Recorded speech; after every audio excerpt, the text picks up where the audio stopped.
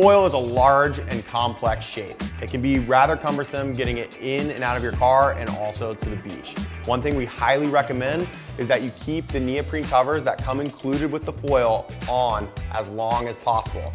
Once you get it to the beach, these are also really great because they can help prevent injury from persons and people, but also you wanna make sure that it's gonna prevent the sands and the environment from damaging your foil.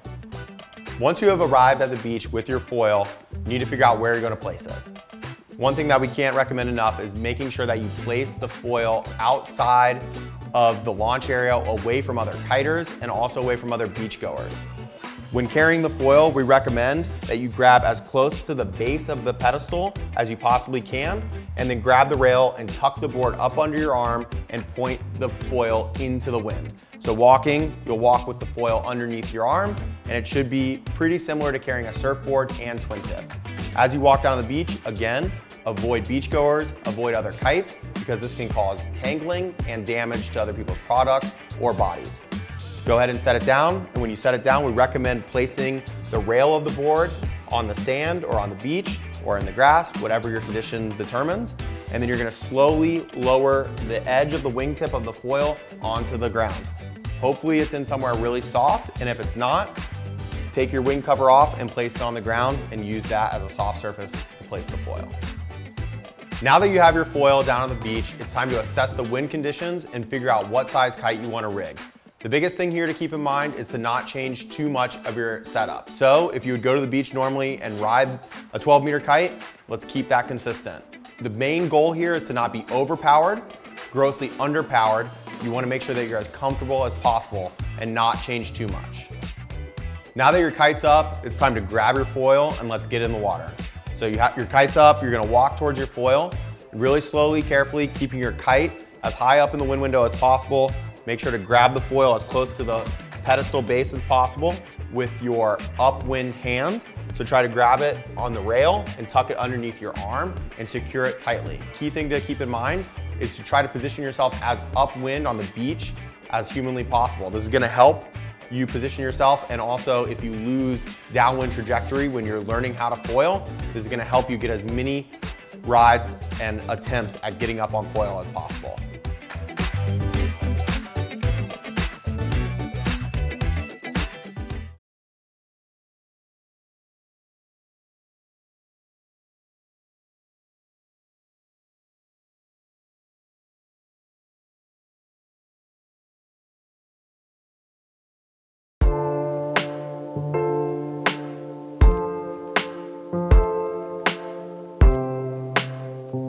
Depending on what spot and location you have chosen for your first foil rides, you may be able to just walk out into the water and give your first water start an attempt.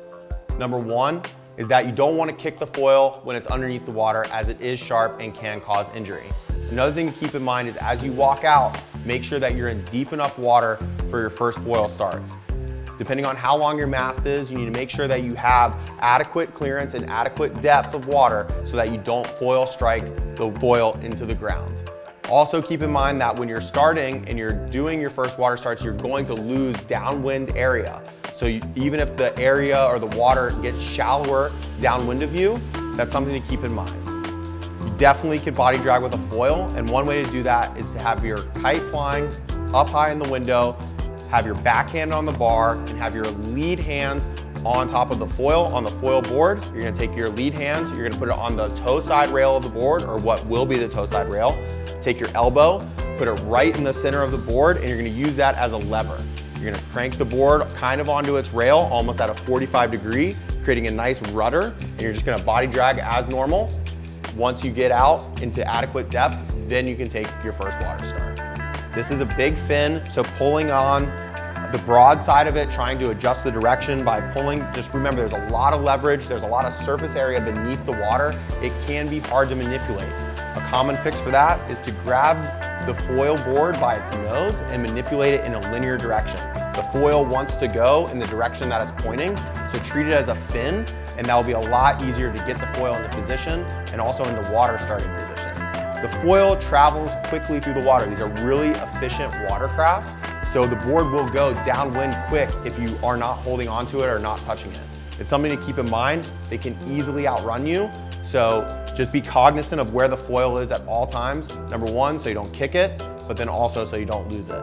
Now that we've gotten you and your foil both safely and effectively into deep enough water, it's time to learn your first water starts.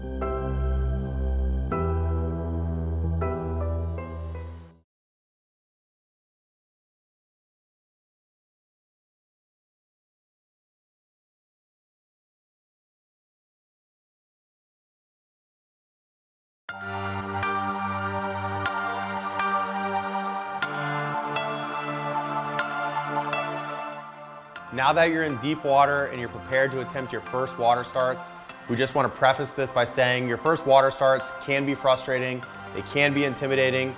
You want to make sure to not get discouraged and just understand that this foiling dynamic is unlike anything you've done in water sports before. Once you arrive in deep enough water, now it's time to get in your water starting position. So you want to choose and first establish your direction of travel. Once you have done that, you wanna go ahead and get the board positioned in front of you or on the downwind side of you. So first things first, you're gonna wanna have your lead hand, the hand that's facing the direction that you're gonna wanna go. You wanna have that on your kite bar with your kite at 12 o'clock directly above your head.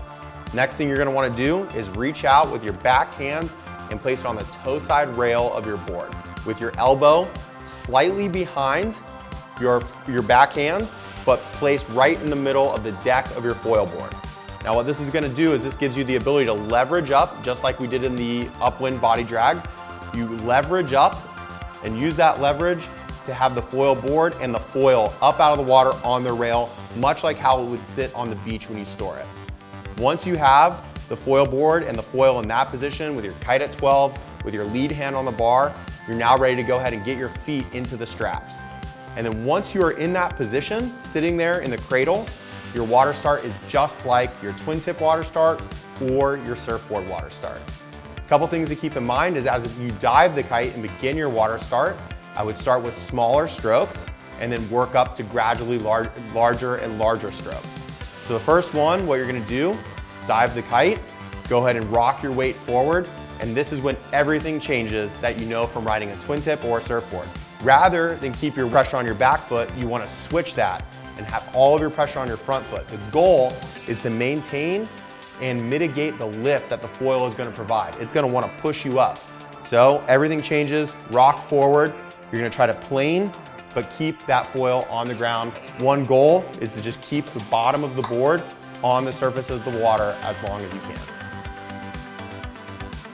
When water starting, you may encounter a few common mistakes. The first and most common and the easiest one to subject yourself to is kind of flailing around in the water and not getting in the correct position for the water start. The water start is all about being controlled and ready for your dives and the subsequent foil ride. So if you're flailing around or you're getting pulled off angle, as sometimes you will happen, you're not gonna be able to just correct it like you would on a twin tip. And if you're an experienced kiteboarder, that's gonna be a really hard habit to break. So if you feel yourself rotating off axis or something like that, kick the foil off and then restart. Also, try not to flail around and kick your feet violently in the water. Slow, controlled kicks to reposition your body will prevent foil strikes beneath the water with your feet, and that's gonna make sure to maintain some safety when you're trying these water starts. Which brings us to our final most common mistake, which is too much back foot pressure. If you have too much back foot pressure, the foil is gonna instantly launch right out of the water. So in order to mitigate that and to control that lift, you want to lean forward. If you move your hips forward, you're gonna actually place more pressure on your front foot. If you just try to push down with your front foot, you're not actually gonna maintain that front foot pressure. And also just make sure that you're in a really comfortable position when starting. Just to recap with your first water starts, this is an incredibly dynamic, new aspect of kite surfing to learn. It is difficult, practice makes perfect, and repetition is key.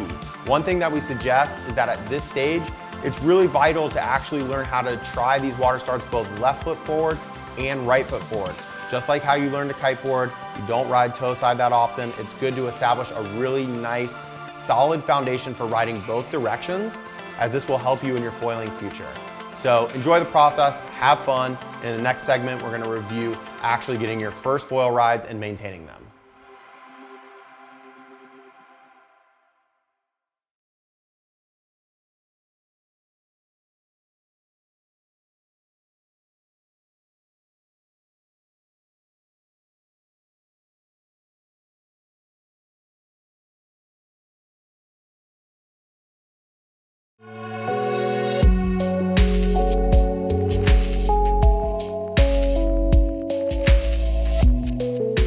Now that you've experimented with your water starts with your foil, now it's time to sustain some foil rides. Really the first thing to keep in mind when you're taking your water starts and getting into riding your foil, we want you to maintain contact between the bottom of the board and the surface of the water. Try to keep the board on the water. It's not that hard to get lift from the foil, but it's a lot harder to actually get the foil back down. Mitigating and controlling that lift is gonna be very beneficial to you in your foiling future. One of the most common mistakes is to rocket right up out of the water and then come crashing back down to the water's surface. That crash is when you will undoubtedly crash and fall and have to reset. We're trying to minimize that by controlling that lift. So when you're riding, you wanna keep the board on the surface of the water for as long as possible. The whole first half of your session should be dedicated to riding around and getting acclimated to how the board actually rides with the foil attached to it. This is a huge fin underneath the water, and if you can actually get adjusted to how it feels, you're gonna have a lot more success in the future. So now that you're getting more and more comfortable and acclimated with how the foil actually feels underneath the surface of the water, it's time to start experimenting with rising up out of the water. So what you're gonna wanna do is once you're actually riding on the surface of the water, it's all about your hip placement. So if you're traveling left, you wanna shift your weight over your right foot by using your hips and pushing them back over your back foot. That's gonna give you rise. Don't do really violent movements. The really slow and steady movements is gonna give you the best adjustment and gonna give you the nice smooth transitions on foil and then back down off foil. So that's kind of what we wanna master in this segment. We want to be riding board on the water, slowly lean back, and as we rise, we wanna level off get our feet and our shoulders back over top of our feet and real centered on top of our, our body and over our foil. And then once we're maintaining a little bit of foil rides, we wanna then shift our weight forward over our front foot by moving our hips forward, and that's gonna bring us slowly back down. And then we wanna just keep doing that same motion, both left foot forward and right foot forward, to really master the feeling of foiling and then getting back down. Controlling the foil and controlling the lift and coming back down to the water surface is the holy grail of foiling. Once you've mastered both the rise and the return to the water on foil, now it's time to focus on sustaining longer rides. It's the exact same concept. To get up onto foil, you want to slowly position your weight over your back foot by shifting your hips backwards. That's going to give you your rise that you need to get up out of the water and on foil. Then you want to maintain foil by being centered. That means equal pressure on both your left foot and your right foot and traveling and maintaining that direction. That's gonna give you a consistent height out of the water. Once you feel that you're sustaining longer rides, then it's time to position yourself to go upwind. Going upwind on the foil is easier than with a twin tip or a surfboard as the board is just that much more efficient.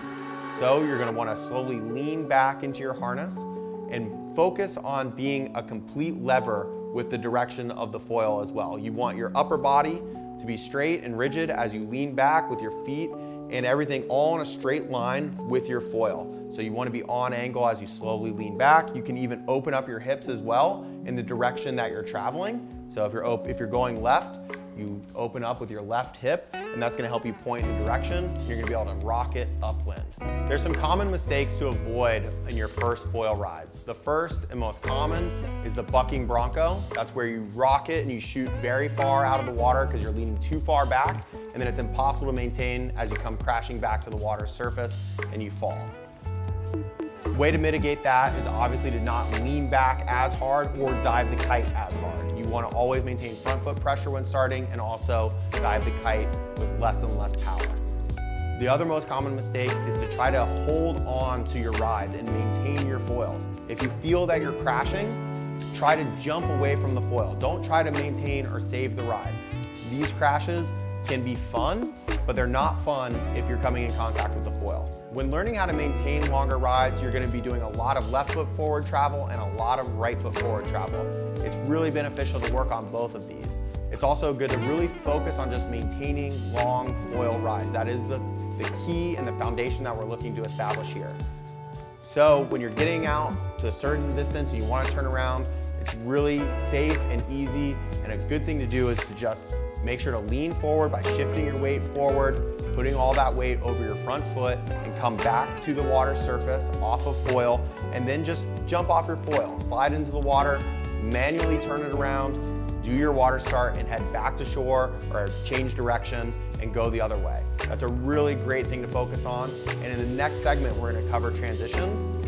But in the meantime, we want you to focus on learning how to go left foot forward and right foot forward because depending on the location that you're learning how to foil or the next location that you go and ride and go try to foil, you might not have the ability to get off of the beach in your dominant foot forward.